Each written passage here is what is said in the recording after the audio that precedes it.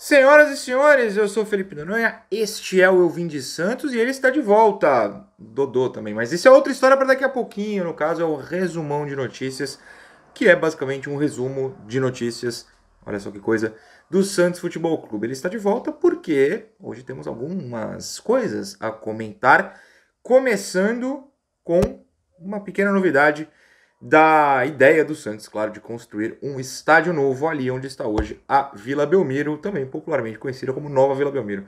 Só coisas realmente fantásticas estou falando hoje. Passaremos por Dodô também, estou triste, você vê que o meu, meu semblante derrete quando eu falo sobre isso. E também uma outra coisa triste, que é a lesão do Rodrigo Falcão. Também temos quatro jogadores inscritos no Paulista. Mas vamos começar por onde devemos começar, que é mais uma parte do começo do projeto do Estádio Novo do Santos. E por que do começo, você que pergunta? Bom, nesta sexta-feira, o Santos foi até a prefeitura da cidade de Santos para entregar o projeto da W Torre barra Santos. E por que eu falei com esse tom meio melancólico? Porque você pode pensar, e eu sempre dou esse exemplo aqui, que amanhã cai a vila como ela é hoje e depois de amanhã começa a construção. Não, hoje foram entregar o projeto. A prefeitura sequer tinha o projeto em mãos. Claro que usualmente é algo simbólico, mas querendo ou não, oficialmente, a partir dessa sexta, a prefeitura tem o projeto em mãos.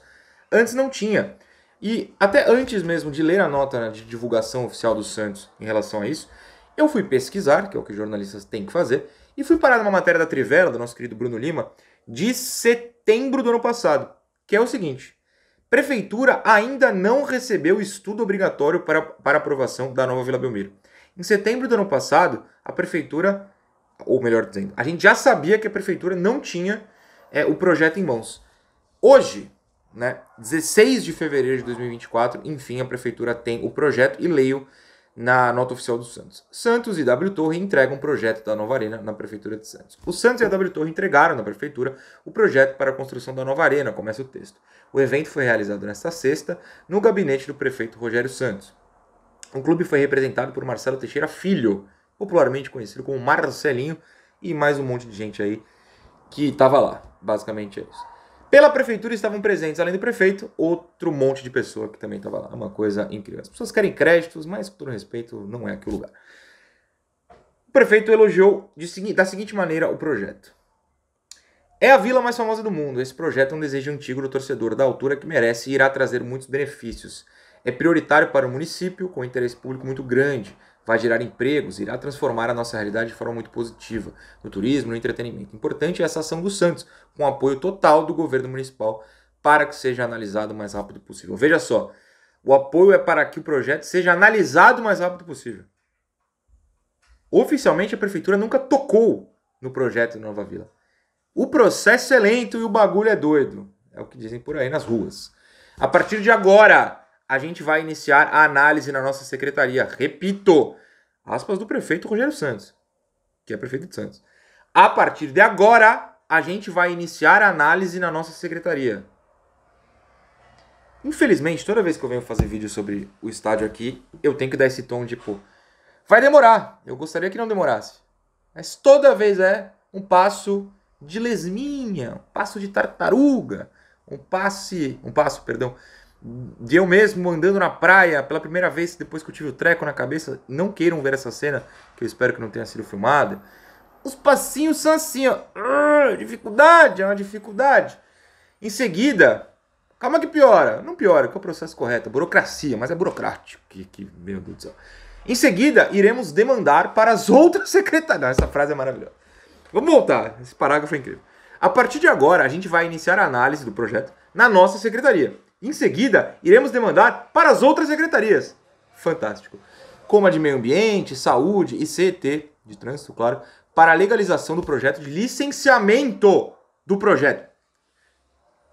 Para a legalização do projeto de licenciamento do projeto. Gente do céu, esse estádio não sai antes de 2049. Apontando todas as necessidades para o ok final da parte da prefeitura.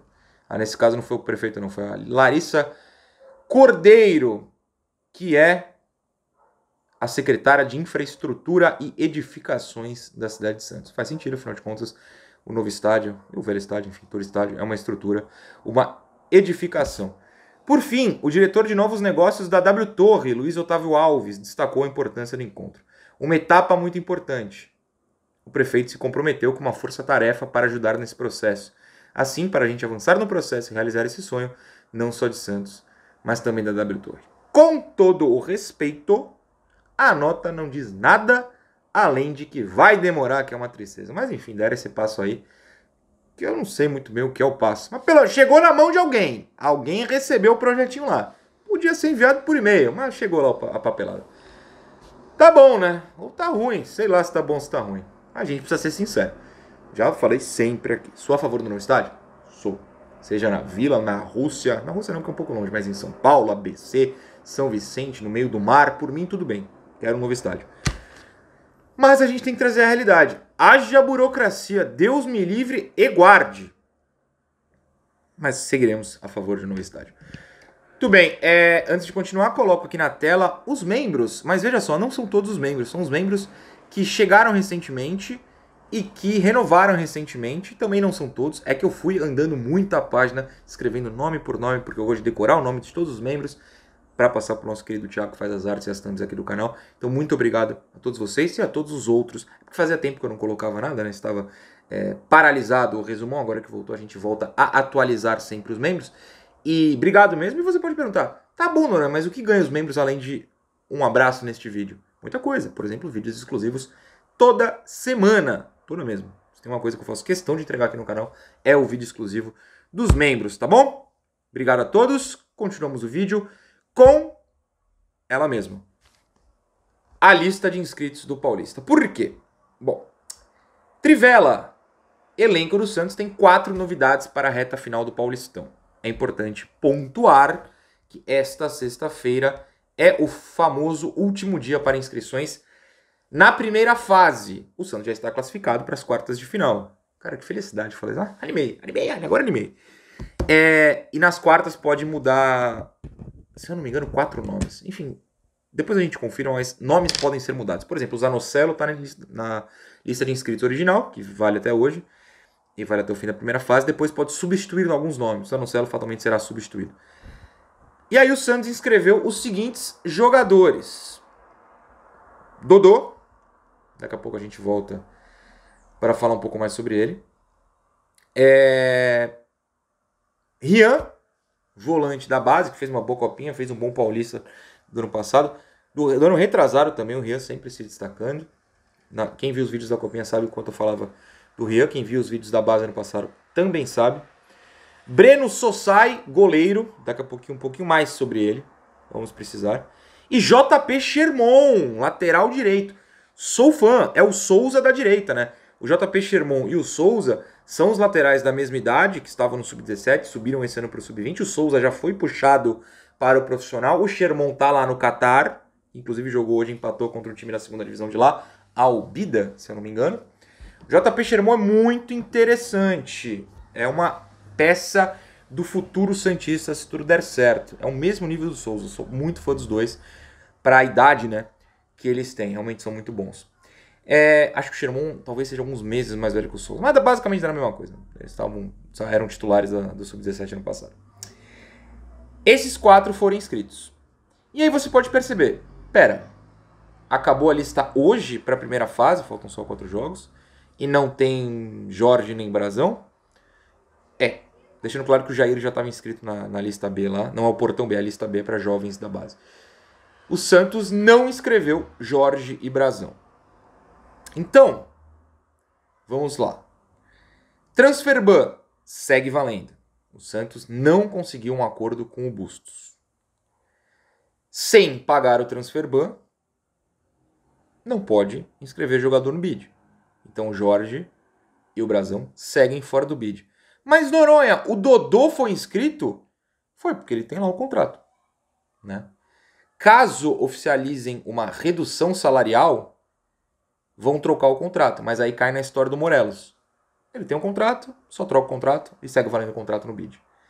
O Brasão não tem contrato com o Santos. O Jorge não tem contrato com o Santos. Então eles não podem aparecer no bid, consequentemente não podem ser inscritos, graças ao transferban que o Santos até essa sexta-feira não se acertou com o Bustos. Vamos explicar daqui a pouquinho mais coisas sobre isso. Antes, de novo, coloco aqui na tela, primeiro o QR Code da Google Case, segundo, pessoas que me enviaram fotos do, dos produtos e também é, imagem usando o cupom, nesse caso, o Johnny, que comprou coisas que não tem relação com o Santos lá na Case. Você pode fazer isso também usando o cupom Eu Vim de Santos.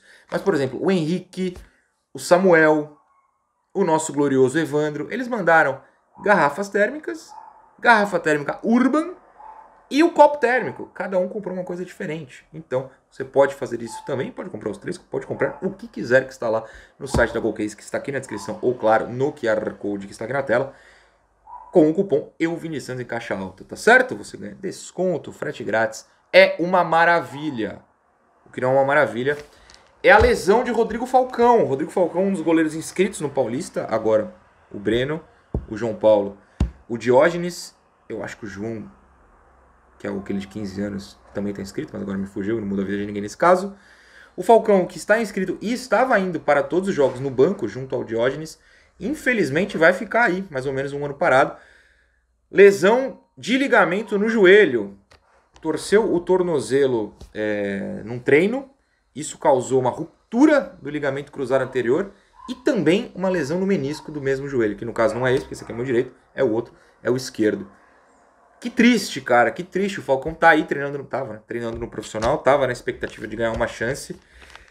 Não será este ano. E eu acho que é por isso que o Breno que era considerado no passado o quarto goleiro do time atrás de João Paulo, Diógenes Mazotti, é, foi. Ah, quinto goleiro, olha só, e foi sem querer. Ah, nem eu me aguento às vezes, foi sem querer, de verdade. Quinto goleiro, porque estava atrás de João Paulo, daquele lado do Guarani, do Mazotti e do Diógenes, e era o quinto goleiro. O Mazotti, que está lá no Catar e jogou hoje esse amistoso aí contra o Albida, não foi inscrito. Mas o Breno foi. O Breno que começou a temporada no Portão B, assim como o Dodô, que também foi. O Falcão deduziu que, já que não conseguiram um brasão e ainda teve a lesão do Falcão, tiveram que inscrever um goleiro às pressas. E o Dodô, porque o Jorge tá lá, né? O Santos, inclusive, divulgou a imagem da volta do Dodô para os treinos no Portão A com o Jorge. E aí, Jorge? Tá afim de ficar em forma? Não? Qual que é a situação? Enfim, então esses dois substituem, né?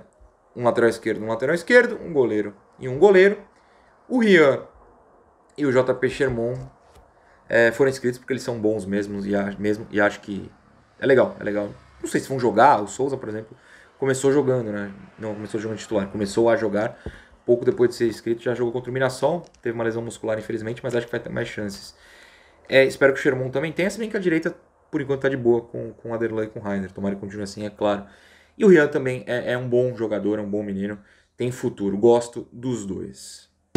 Tô olhando meu computador aqui se eu deixei algo para lá. Não, é isso. Este foi o nosso resumão de notícias desta sexta-feira. Amanhã já tem programado um vlogzinho da nossa cobertura lá no Morumbi.